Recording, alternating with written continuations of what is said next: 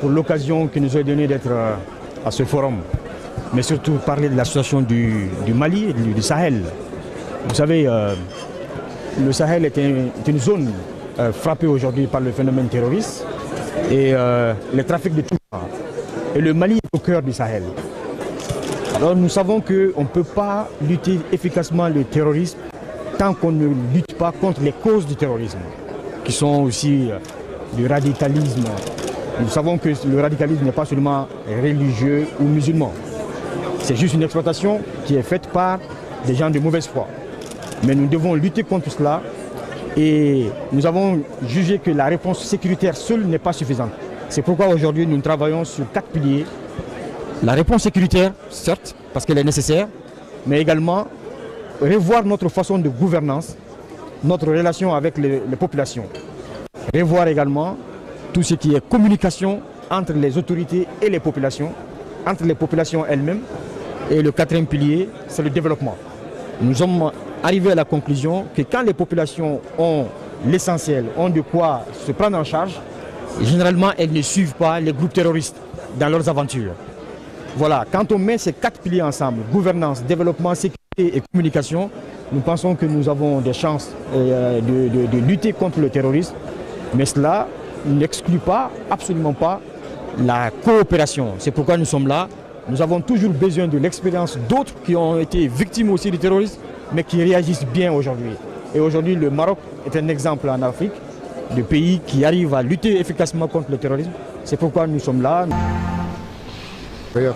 Avec les pays africains, mais également avec les pays euh, européens, américains et d'Asie. Euh, il faut trouver, euh, une, nouvelle piste de réflexion pour pouvoir aller de l'avant et trouver de, nouvelles méthodes de coopérer parce que les, grands criminels ou les terroristes d'une manière générale n'ont pas de loi.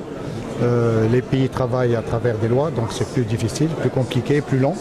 Donc il faut trouver des mécanismes de, discussion, d'échange d'informations entre le Maroc et les pays africains pour aller plus vite que les trafiquants ou que les terroristes, pour pouvoir échanger des informations, échanger des, photos, échanger des lieux de, des lieux de positionnement de ces, de ces groupes-là. Et donc pour ça, il faut, il faut trouver de nouveaux mécanismes et c'est pour ça qu'on est tous ici euh, présents à ce forum pour pouvoir discuter et trouver des, des, ces genres de, de mécanismes. هذه الدورة الثالثة من المنتدى الإفريقي للأمن الذي ينظم من طرف مركز الدراسات البحوث والبحوث الجيوستراتيجية أتلانتيس بشراكة مع المنتدى الدولي لتكنولوجيات الأمن فيتس تحت شعار إعادة تحديد مجالات التعاون الدولي لمحاربة تهديدات القرن الواحد والعشرون سيعرف المشاركة أكثر من 400 مشارك من آه، منهم خبراء باحثون وموظفون سامون لدى الدول المشاركة. كاين أكثر من 50 دولة معظمهم من الدول من القارة الأفريقية التي تشارك في هذا المنتدى اليوم. آه، سيتركز المنتدى حول ثلاث محاور آه، أساسية. المحور الأول هو الهجرة والنمو الاقتصادي والاجتماعي. المحور الثاني هو الإرهاب السيبراني والسمعة الإلكترونية والبيانات الكبرى التي تعرف بال big data.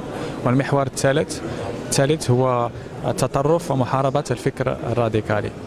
آه، الهدف من هذا المنتدى هو النقاش آه، هذه المواضيع حول بالمشاركة مع مختلف آه، المؤسسات الدولية الوزارات والمراكز ودراسات البحوث آه، آه، الجيوستراتيجية خاصة الدولية. آه، النتيجة من هذا اللي تنتظروا من هذا المنتدى هو استخلاص استخلاصه خريطة طريق اللي فيها مقترحات. هاد الخبراء كاملين مع الموظفون السامون حول تحسين الوضعية من جميع ناحية من ناحية الأمنية من ناحية الدفاع ومن ناحية الهجرة اللي هما مواضيع اليوم. المنتدى الإفريقي للأمن اللي اليوم يقام بمدينة الرباط. هو آه، منتدى جد مهم.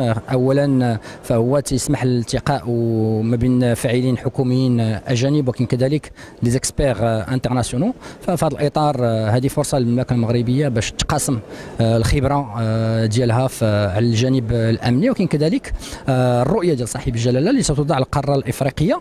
فمن الأولويات ديال السياسة الخارجية ديال المملكة في هذا الاطار هناك هناك سياسه السياسة اللي من خلال الانتغراسيون ديال المهاجرين في المملكة المغربية. وهذه سياسة اللي هي كفرصة للدول اليوم يقدوا ياخذوها بعين الاعتبار اللي المملكة قامت بهذا العمل تحت قيادة ديال صاحب الجلالة. اليوم كنتواجدوا هنا في هذا القاعة حول الأمن الإفريقي والهجرة. إحنا اليوم كان كان إحنا كمرصد كنعلقوا على أن أن المهاجرين من من الصحراء اللي كيهاجروا مثلا لاوروبا وسميتو عليه. هناك مشاكل يعني أمنية داخل داخل الدول ديالهم. ما من من ضمن هاد من هاد النقاط يعني يعني استغلال استغلال الثروات ديال الأفارقة دول أجانب منهم الحروب. يعني هاد العوامل كلها كتدفع كتدفع لي سيتويان هذوك الأجانب باش يهاجروا هذوك المواطنين باش يهاجروا للدول اللي أصلا استغلت هذيك الثروات ديالهم. يعني هناك عدة مشاكل مطروحة اليوم للنقاش لازم يعني الدول كلها تساهم فيها. لا الدول العظمى ولا الدول العالم الثالث. يعني يعني الدول العالم الثالث راه كتستافد من كتستافد الدول العظمى كتستافد من العالم الثالث من الثروات ديالو الخيرات ديالها ومن بعد كتصدر لهم السلاح تصدر لهم دبابات تصدر لهم باش بدا القتل بيناتهم وسميتو عليه. وفي الآخر شكون اللي كيتورط؟ كيتورط الدول بحال مثلا أوروبا. نعطيك كسبيل المثال سوريا. سوريا. شكون اللي خلق الحرب داخل سوريا؟ يعني دول عظمى. من بعد ولات الهجرة ولات الهجرة ديال السوريين إلى أوروبا وإلى أمريكا يعني بواحد الشكل خطير. يعني حتى الدول العظمى خاصها تراجع أمورها. حقيقة أنا سعيد كثيرا بوجودي في هذه التظاهرة المتعلقة بالمنتدى الإفريقي للأمن 2018 وحقيقة هي تظاهرة في مستوى جيد لأنه سمعنا عدة أوجه نظر أوجه نظر و different point of view. In English. وجهات نظر متعددة. رأينا كيف الأفارقة يعطون وجهات نظرهم. رأينا كذلك كيف أن المغاربة يعطون وجهات نظرهم. رأينا كيف الأوروبيين يعطون كذلك وجهات نظر أخرى. رأينا كذلك أن بعض الضيوف من أمريكا ومن بعض الدول الأخرى يعطون وجهات نظر. الكل يسعى لتحقيق المصلحة حقيقة إلا أنه يجب الإقرار بأن ظاهرة الهجرة بصفة عامة والهجرة النظامية هي ظاهرة تمس بالأمن يجب حوكمة هذه الظاهرة ويجب العمل على عقلنة والعمل على تحقيق التنمية الاقتصادية لما فيه الخير للمنطقة وللقارة وللشباب بصفة عامة وللعالم بصفة عامة باعتبار أن هذه التظاهرة هي دولية. De, ce forum. Euh, ce forum est maintenant à sa troisième édition. Euh, nous avons euh, le privilège d'avoir plus de 50 pays avec nous aujourd'hui.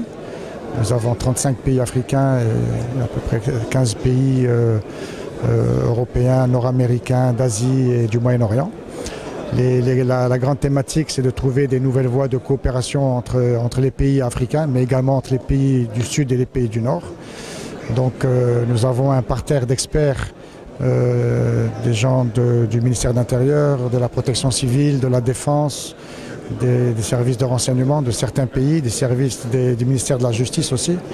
Nous avons un expert de la Cour pénale internationale qui sont tous là pour euh, discuter sur les trois thématiques importantes, sur la migration, sur euh, la cybersécurité et également sur l'extrémisme. Donc l'intérêt, c'est d'avoir tout ce monde-là qui discute entre eux et qui réfléchissent et qui donnent de nouvelles pistes de, coopérer, de coopération pour euh, trouver des nouveaux mécanismes pour mieux coopérer entre les pays.